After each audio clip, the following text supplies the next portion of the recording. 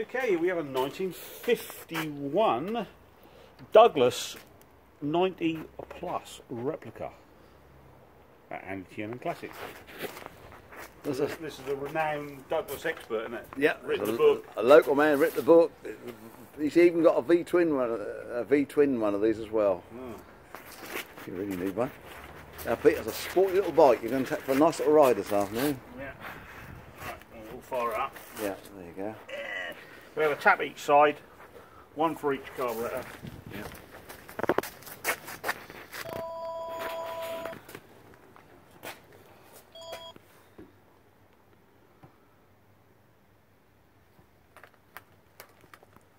One for each side, yeah. one for each side. yeah. It's got the it's got 90 on the engine number. Look, there we go. Look, Ah.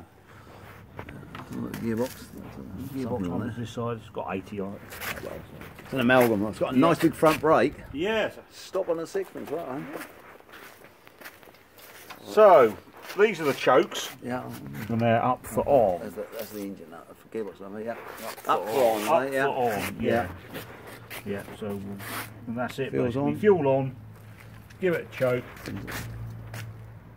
Advance and retard, Yeah. so it's um, fully advanced on the tight wire. Yeah. So we'll back that off a bit. Um, you've just got the standard uh, clutch, front brake, and throttle. Uh, Doherty throttle, that's good. Yeah, good, dou- twin pull throttle. Yeah. Yeah. Okay, so. First kick.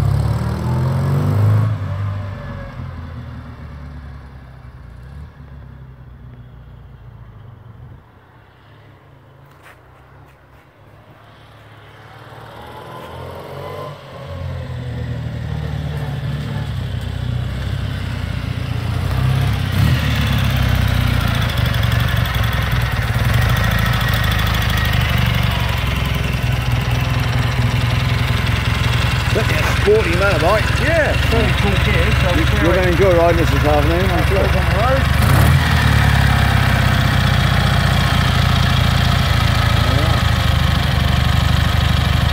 There we go.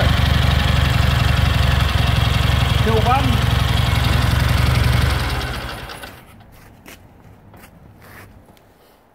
Yeah. There we. An interesting bike. If you want, if you Yeah. want a sporty lad. My career, I've, I've only ever seen one or two, you know, 90 pluses, uh, and then they're all of this type. You know, It will be a special for that date. Well, there we go.